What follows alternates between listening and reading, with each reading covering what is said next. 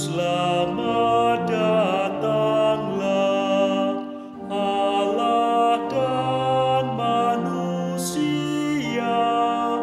Biar dunia tergeluh Karena kelahiranmu. Roh dan firman yang